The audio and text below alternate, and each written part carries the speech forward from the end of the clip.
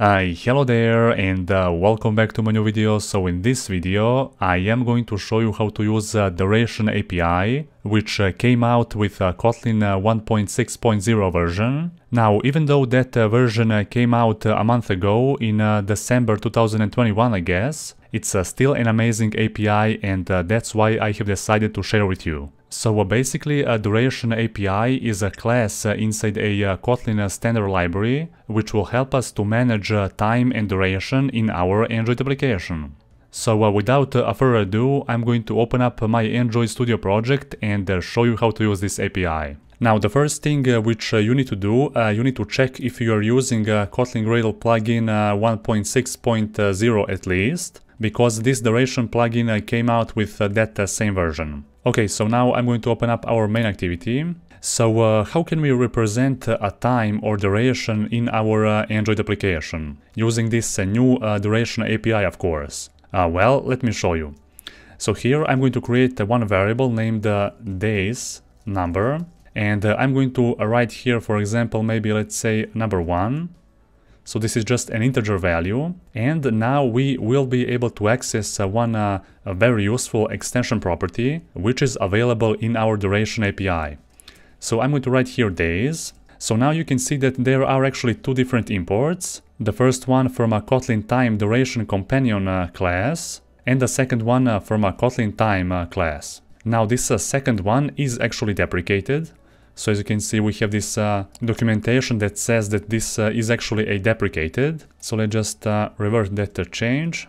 And here I'm going to import this uh, first one. So from this uh, duration companion, okay? And there we go. So now we can actually access this property. And down below, I'm going to just print the result of this variable. So days number. I'm going to run this application and then uh, you will see that uh, we are going to receive here uh, 1D, which uh, actually represents uh, one day. So the type of this variable is actually a duration. And we can also open up this duration class. So I'm going to select this days property and click Ctrl B. So we can actually open up this duration Kotlin file, okay? So this is the actual source code. This is our duration class. And down below inside this uh, companion object we can see many different uh, properties and also extension properties uh, which we can use. So down below you can also see that we have for example a nanoseconds extension property which is available on three different types integer value, a long and a double. And below that we can see a microseconds on those three types as well. Then we have a milliseconds, then we have a seconds, a minutes, then we have hours. So on uh, three of those types, integer, long and double. And finally we have days. So basically a days uh, property is a top uh, property in this duration uh, API and uh, there is no such a thing as a weeks uh, representation here in duration API, so we have only days. Alright. And down below in this duration class you can also see some deprecated functions which we have already seen. So uh, instead of using those uh, functions, we are going to use those uh, extension properties. So now let's go back here to our main activity and uh, I'm going to show you uh, some more examples as well. So here let's create another variable, uh, for example days in a millis. And now you might be wondering how can we convert a day or multiple days in a milliseconds? Well, very easily. So here I'm going to type uh, one dot days, so the same extension property, and then I'm going to add uh, one more uh, property here called uh, in whole milliseconds. So there are here many different properties which we can choose.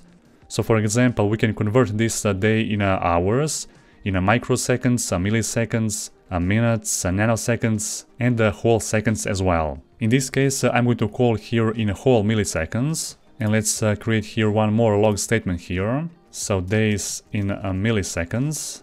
Let's uh, run our app once again. And uh, here, as you can see, uh, we have received uh, one value, which is basically a representation of our single day in a milliseconds. So those are some very convenient extension properties which we can easily use to convert days into seconds, seconds into days, etc.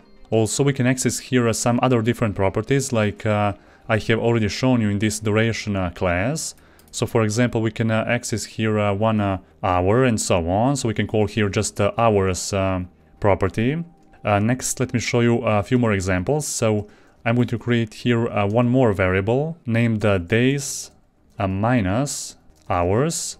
And here I'm going to say, for example, one day or actually days minus, let's say, two hours. So let's import this companion as well. So this first one and uh, I want to say here in uh, whole hours.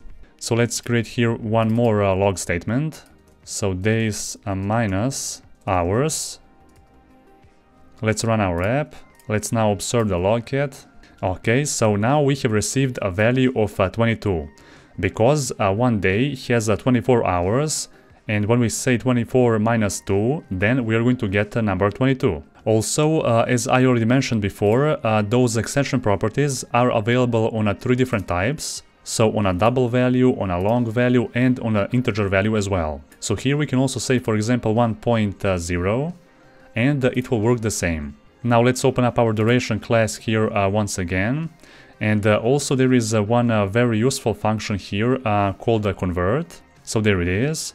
This uh, function will basically convert the given time duration value expressed in the specific source unit into the specific target unit. And here we can also see this uh, new class uh, called duration unit. And this duration unit class actually represents those time measuring units like nanoseconds, microseconds, milliseconds, and up to days.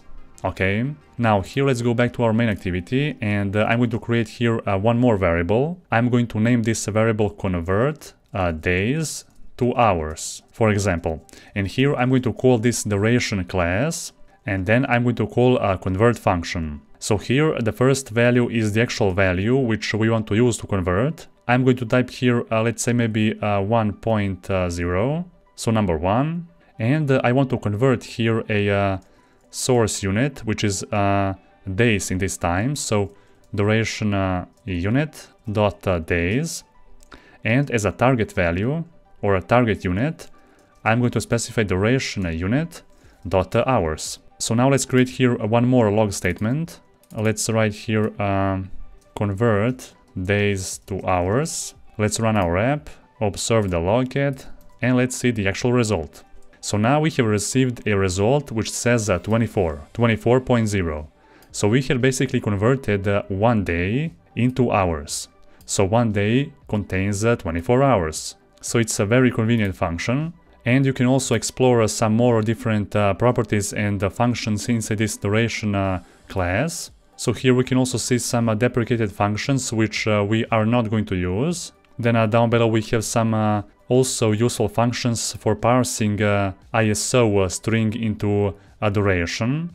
So this function, for example, will parse a string that represents a duration in this uh, ISO uh, 8601 format. So you can see uh, one of those examples how that ISO format string looks like. So here it is. This is just one example of this ISO duration format. And let me show you how this format will actually be used to convert this string into actual duration. So let's open up our main activity here. I'm going to create another variable here named ISO to duration. I'm going to call here duration class dot parse and here as a value I'm going to specify that same string from that documentation. Now let's create here uh, one more uh, uh, log statement. So ISO to duration. Let's run our app. So now you can see that we have successfully converted this uh, ISO uh, formatted string with this uh, exact value and we have received here a 1 day, 2 hours, 3 minutes and 4.058 seconds.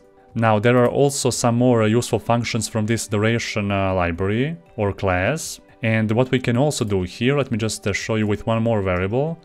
I'm going to type here now duration to ISO and let's call here, uh, let's open up the brackets, let's type here for example 3 days plus uh, 6 hours plus, uh, 12 uh, minutes. And uh, let's convert that to ISO string. So now you can see that this uh, to ISO uh, string uh, function is also available from this duration API and it will allow us to convert the actual duration into this ISO formatted string. So now let's here create one more log statement. so duration to ISO this time. Let's run our app. And uh, now we have received that uh, ISO uh, formatted string from this duration which we have already specified. So 3 days, uh, 6 hours and uh, 12 minutes. And finally there is just one more thing which I want to show you with this duration library. So I'm going to show you how you can extract those duration values from this ISO string. So now I'm going to just uh, copy this uh, same uh, variable down below. I'm going to name this variable ISO to duration number 2, let's say. And uh, down below I'm going to write uh, ISO duration number 2. And then I'm going to call here one function named uh, two So now with this function we will be able to access those duration elements like uh, minutes, uh, seconds, uh, nanoseconds, and so on. So just uh, call this uh, function. So we have hours, minutes, seconds, and nanoseconds in this case. Let's also create here uh, one log statement inside.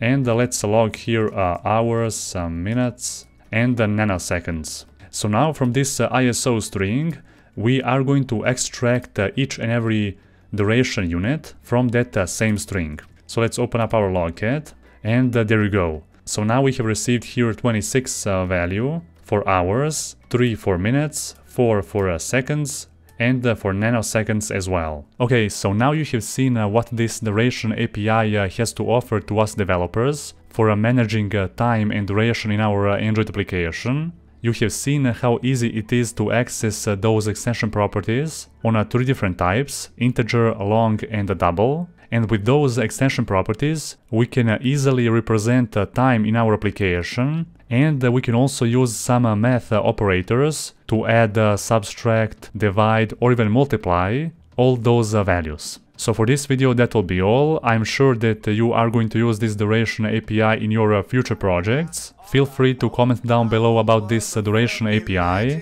Like this video if you find it helpful of course. And uh, see you the next one. Die,